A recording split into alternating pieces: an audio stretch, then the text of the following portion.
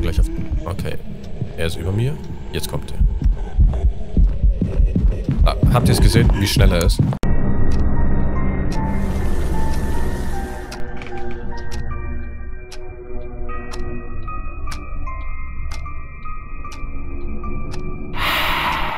Welcome back, Ladies and Gentlemen. Ich bin Psycho, ich bin wieder am Start mit einer weiteren Runde Phasmophobia und heute befinden wir uns im Albtraum-Modus in Edgefield Street House. Und ich glaube heute oder gestern, jetzt weiß ich nicht mehr ganz genau, wurde auf dem offiziellen DC von Phasmophobia wurde ein neues Bild geleakt und zwar von einem neuen Geist, der kommen soll. Finde ich interessant und in den Schwächen steht irgendwas mit Orbs. Das finde ich interessant, was sich dabei ausgedacht haben. Leider ist das meiste noch gecovert, sprich äh, zensiert. Bin ich mal gespannt. Also es erwarten noch vieles.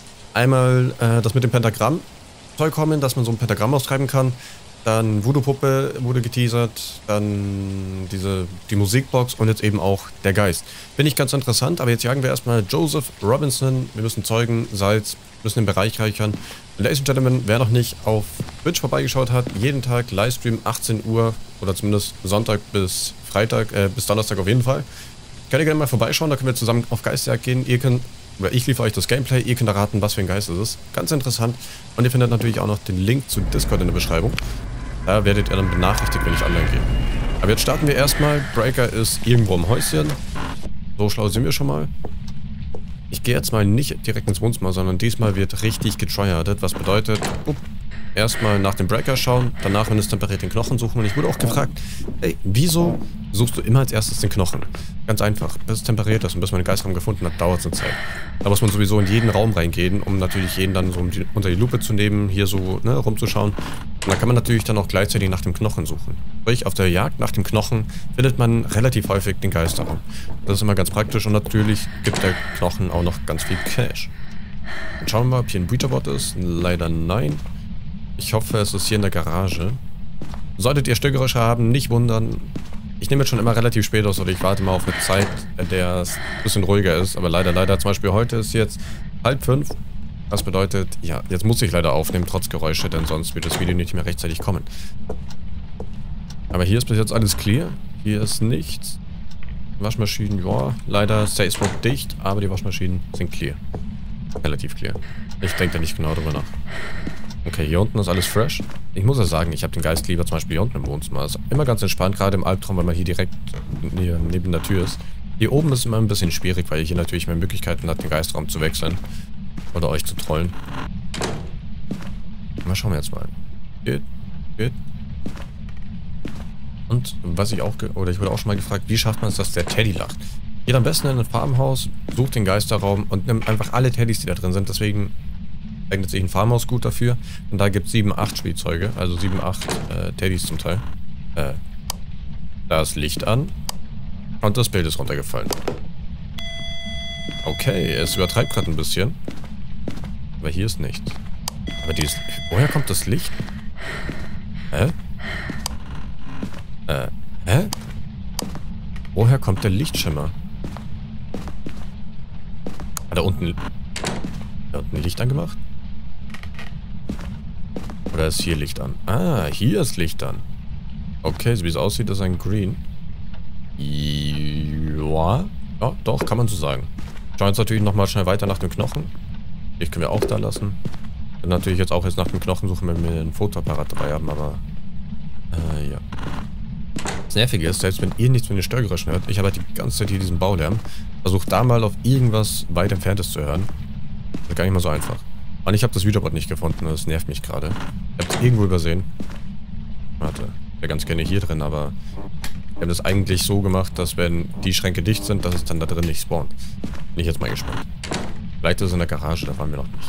Aber erstmal, up, hier drin ist der Geisterraum. Let's go. Machen wir natürlich hier auch schön viele Lichter an. Hier haben wir noch ein Licht. Up. Könnten eigentlich das hier hinten auch noch anmachen. Up. Natürlich, genau vor grün haben wir kein Licht. Naja, es Leute schwenken. Hier unten machen wir auch Licht an, einfach weil wir es können. So, jetzt schon ein bisschen heller. Okay. Wir haben den Geistraum gefunden. Er ist sehr aktiv, ist schon mal gut zu wissen. Wird heute vieles einfacher werden. Fotoapparat nehmen wir trotzdem mit. Ist natürlich jetzt nervig, wir haben keinen Knochen, wir haben keinen Güterbau. Das geht mir jetzt schon auf die Nüsse. Ähm, gut. Dann kann ich alles haben.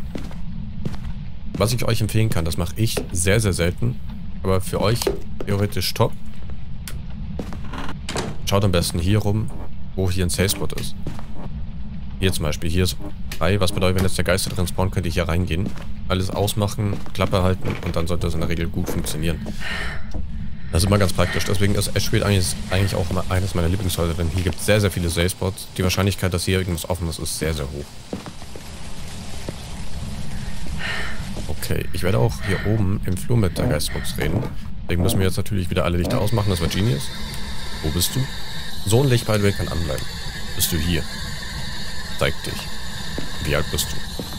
Bist du wütend? Du hier. Zeig dich. Wo bist du? Wie alt bist du? EMF 5 ist es. Jo. Ein wunderschönes EMF 5. Schauen wir mal. Dingies haben wir keine. Nope. Und das ist auch wieder so buggy hier. Diese ganzen Lichtschimmer. So. Lichter an, ausmachen und bumm, diese ganzen Bugs sind gone. Okay. Wo bist du? Wie alt bist du? Zeig dich.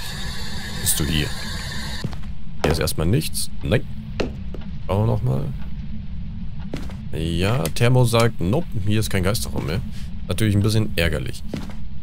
Problem ist, draußen im Flur war er relativ präsent. Was bedeutet, es könnte jetzt natürlich sein, hey, er hat den Geisterraum gewechselt und ist jetzt hier draußen im Flur. Könnte auch ein Lila sein, er könnte auch ein Blue sein. Das ist jetzt ein bisschen, ja, nervig. Wir werden da gleich nochmal nachschauen. Ich hole jetzt erstmal neues Equipment. Okay, da bin ich wieder und das war natürlich Genius. Ich habe vergessen, das Buch hinzulegen. Das war perfekt. Aber jetzt müssen wir leider nochmal schauen, wo der Geisterraum denn genau ist, damit wir dort diesen Buch platzieren können. Mal schauen mal. Jetzt haben wir nur eben F5. Hier ist er nicht mehr. Er ist jetzt in lila präsent. Wir nehmen das EMF-Gerät mit, damit wir hier schauen können, wo er jetzt was bewegt hat. Jetzt ist er in grün wieder präsent, weil hier ist nichts. Also er ist schon noch in grün drüben, nur das Thermometer trägt uns gerade scheinbar. Wer ist er? Ja doch, er ist immer noch hier. Okay. Entspann dich, Kollege. So, hopp. Das wird erstmal hier platziert. Jetzt brauchen wir natürlich noch unser Bekäme-Stativ.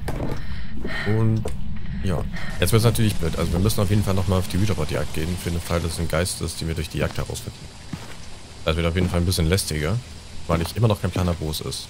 Salz, ja, Speichern, ja, könnte mal ein Salz mitnehmen. Ich finde es ganz gut, dass sie immer ein Güterwort ist und die wissen halt, oder die Entwickler wissen eben auch, viele Geister kann man nur durch die Jagd herausfinden. Das ist natürlich ein Güterwort relativ praktisch, wenn man das wie seine T-Shirt droppen kann. So. Nehmen wir erstmal das Zeug hier. Platzieren erstmal nur einen Salzhaufen. Schauen mal, ob hier irgendwo ein Orb ist.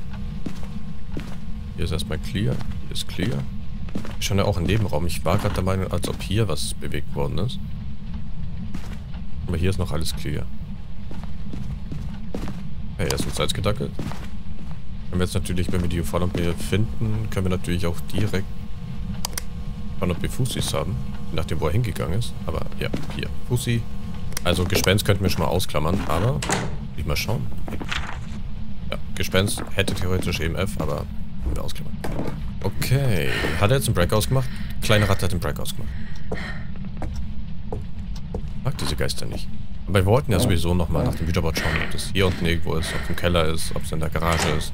Deswegen können wir das jetzt gleich machen, wenn wir sowieso schon hier unten sind. Aber hier ist erstmal alles clear. Kein Readerboard, da oben drauf auch nicht. Ein Problem ist, ich muss mir nochmal die ganzen Spawnpunkte vom Ritz anschauen, denn so häufig finde ich hier keine, kein Readerboard. Hier ist auch keins. Nee. Hat es vielleicht hinten im kleinen Raum? Da muss ich jetzt nochmal genauer schauen. Weil hier hinten spawnt es relativ häufig und relativ gerne. Ah, ah. Perfekt. Brauchen wir natürlich, dürfen wir nicht vergessen. Und ich bin mal gespannt, ob ich in den Kommentaren lese.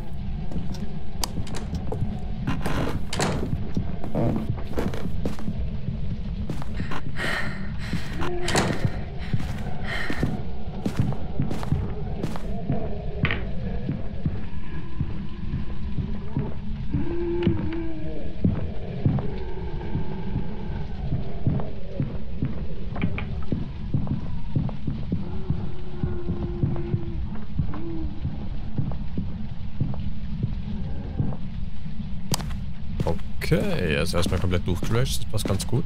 So können wir jetzt schauen, wie viel Sanity wir haben. Sprich. Ja, wobei. Wir hätten noch die Möglichkeit, dass wir Geister haben, die auf 60% anfangen.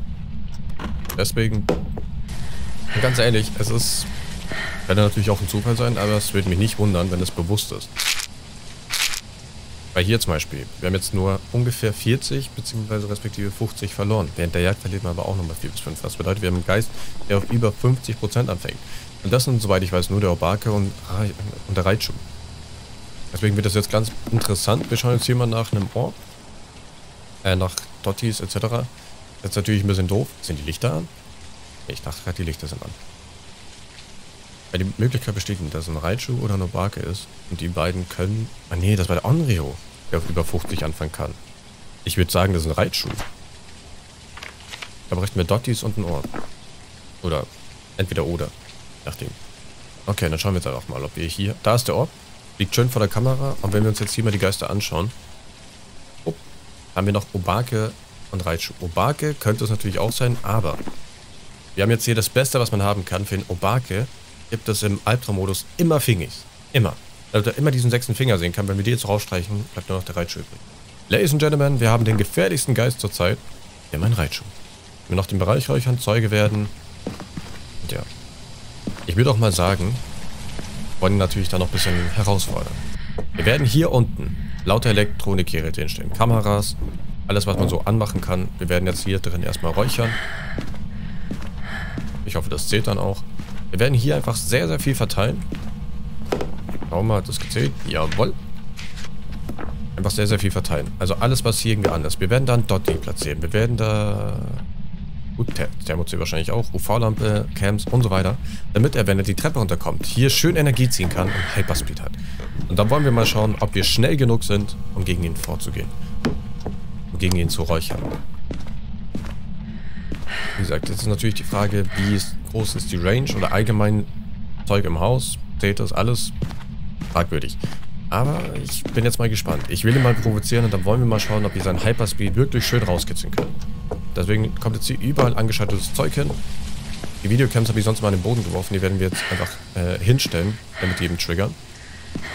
So, einfach nur, damit hier schön viel Elektronik ist aus dem er die Energie ziehen kann. Denn ich habe auch die Frage, gibt es einen Unterschied zwischen Mare und Raichu? Gut, die Frage finde ich ein bisschen random bei durchaus, ja. Beiden sind sehr, sehr unterschiedlich. Aber wahrscheinlich war das auf die Elektronik bezogen. Sprich, Licht an bei Mare, er kann nicht jagen.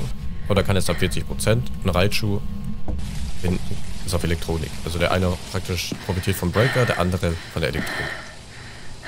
So. Einfach schön viel Zeug. Danach werden wir mit dem Readerboard reden, um unsere Sanity zu droppen, werden Fotos machen, werden natürlich Räucherstäbchen in die Hand nehmen, ganz klar. Und dann werden wir mal schauen, ob wir entkommen können. Was auch ganz interessant ist im Reitschuh, deswegen bin ich jetzt gleich mal gespannt, ob, wir, ob man das erkennen kann. Der Reitschuh ist an seinen Steps zu erkennen. Er macht sehr, sehr viele Steps. Dadurch merkt man eben, dass er schnell unterwegs ist. So, wir werden das Ganze hier positionieren. Räucherstäbchen, Feuerzeug nehmen wir dann in die Hand. Wir machen jetzt dann Fotos mit dem Bleacherboard.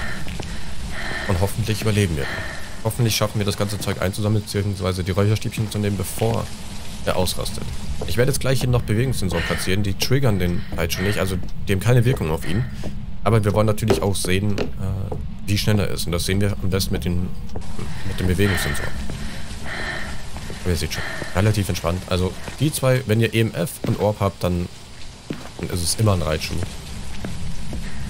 Weil wie gesagt, ein Obake hat immer Kingis, damit man diesen sechsten Finger kennen kann, weil sonst gibt es nichts, worauf man auf einen Obake schließen kann.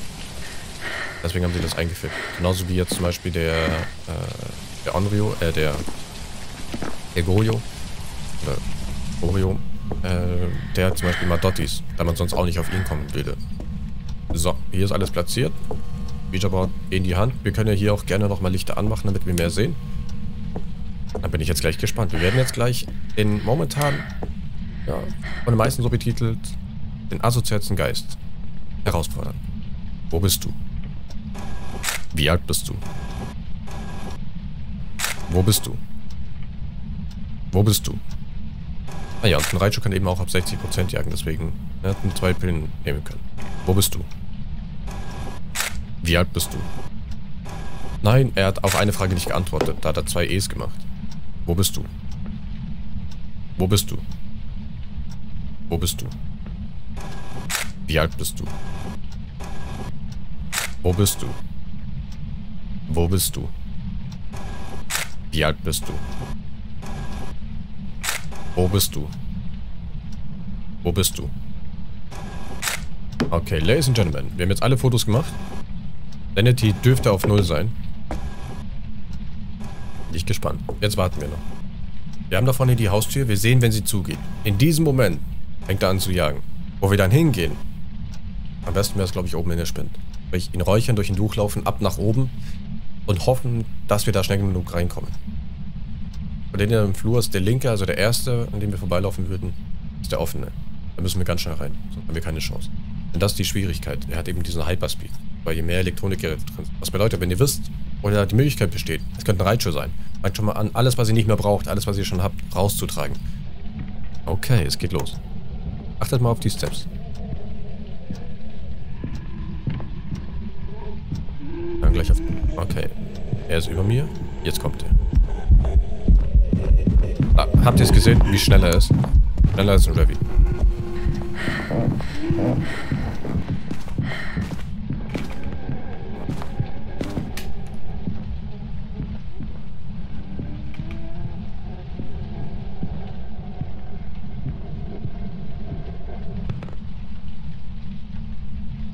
Träume noch nicht. Okay, jetzt reicht. Wurde auch schon gefragt, wieso ich die Version im Test immer in den Boden lege. Einfach damit man hier so im Kreis das Leuchten sieht. Wenn man es hier in der Wand hat und wir stehen zum Beispiel da hinten in der Ecke, dann sehen wir es nicht so gut. Leider, leider haben die ersten beiden nicht getriggert, weil er hier relativ eng um die Kurve gegangen ist, aber danach haben wir es gesehen und er hatte richtig schön Hyperspeed. Weil deswegen relativ entspannter Geist. Oder wenn man weiß, dass es ein Reitschuss ist. Vor dem kann man nicht weglaufen, einfach so. Deswegen, wenn man ihn kennt, ist ähnlich wie beim Revy damals. Wenn man weiß, was es ist, ist es entspannt, dann kommt man klar. Wenn nicht, dann nicht. Deswegen, Ladies and Gentlemen, relativ entspannt. Gut, wir haben jetzt 18 Minuten gebraucht, aber wir haben den Geist relativ schnell erkannt. Wir haben jetzt auch ein bisschen getrickst und vor allem konnte ich euch jetzt zeigen, wieso er so gefährlich ist. Das ist eben das Problem, wenn ihr gerade davon wegläuft. Und er läuft einfach so random rum, kann es sein, dass er euch findet und dann kommt ihr natürlich nicht weg. 260 Dollar, easy win. Ich hoffe, euch hat es gefallen. Danke fürs Zuschauen. Haut rein, bis dann. Ciao, ciao.